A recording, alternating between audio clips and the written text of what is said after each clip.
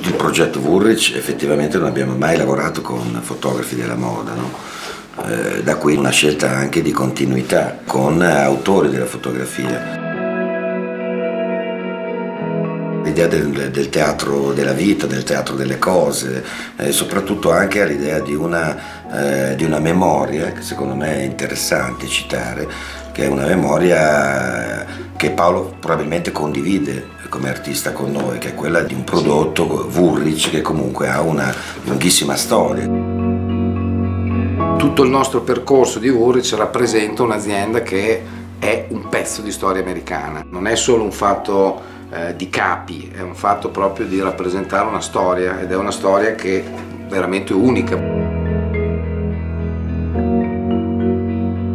Noi abbiamo sempre fatto abbigliamento fin dal 1830 per chi vive all'aria aperta, poi oggi vive all'aria aperta in una situazione urbana, ieri vivevi in una situazione molto più legata alla certo, natura, certo. al mondo eh, dell'interpelle, diciamo.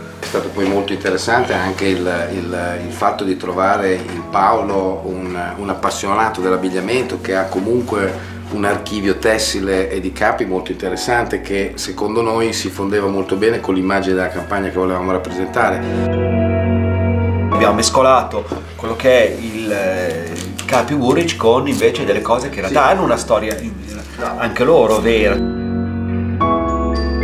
Il fondale dipinto dà, dà, mi dà la possibilità di raccontare delle storie anche molto surreali.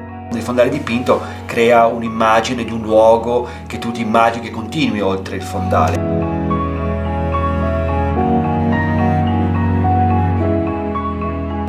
diciamo di sì, il lavoro di dividono in tre, in tre, in tre fasi, tre fasi. Che, che, rappresentano poi le tre fasi stagionali, cioè diciamo l'attacco di stagione, cioè settembre, ottobre, primo, la, la, la, prima parte dell'autunno, invece l'inverno pieno, la montagna incantata, il sogno, eccetera, eccetera per poi invece evolversi in una, in una, nella fase teatrale dove tu rappresenti esatto. la, diciamo, la, la, tua storia berlinese sì. diciamo, eh. in cui c'è un mago che fa apparire e sparire delle cose. cose.